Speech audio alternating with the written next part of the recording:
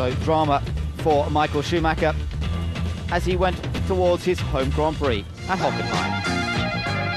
The situation being that Benetton did indeed appeal against the exclusion from the black flag and the exclusion from two Grand Prix.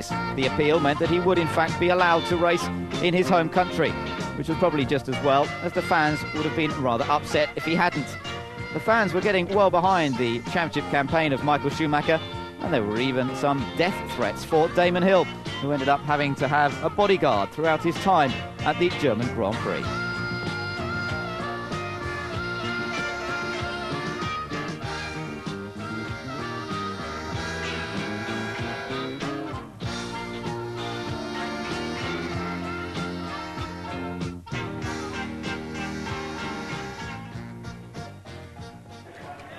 Well, remarkably enough, it was two Ferraris that dominated proceedings in qualifying. Gerhard Berger taking pole ahead of Jean Alesi. 150,000 spectators were cheering on one man. That was Michael Schumacher. And so to the start of the race, and things going wrong right from the first moment, particularly at the back of the grid.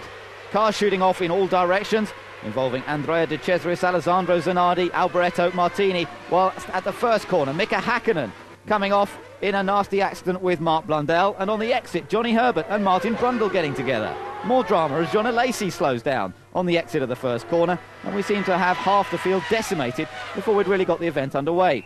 Although many people expected the race to be stopped, it was not in fact stopped. It continued round. In the meanwhile, Damon Hill had had a coming together with Ukyo Katayama trying to take third place.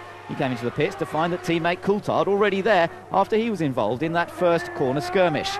So up front we had a battle between the Ferrari of Gerhard Berger, the man who'd taken pole, and the local hero, Michael Schumacher, chasing in second position.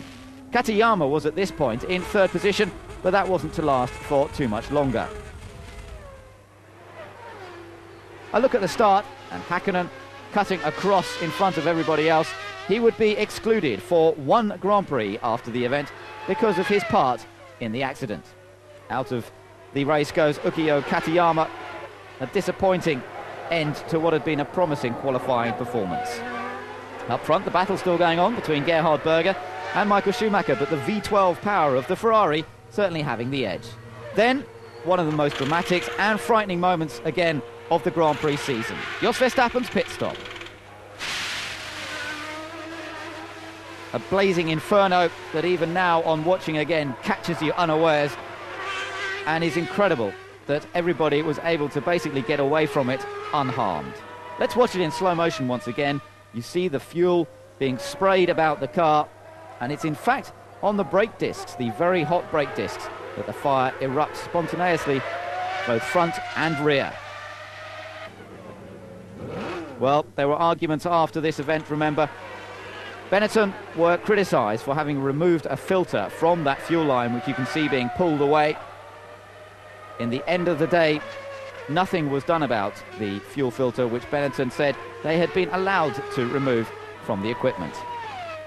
The main thing was that nobody was badly hurt, but once again, it showed the risks of refueling in a race.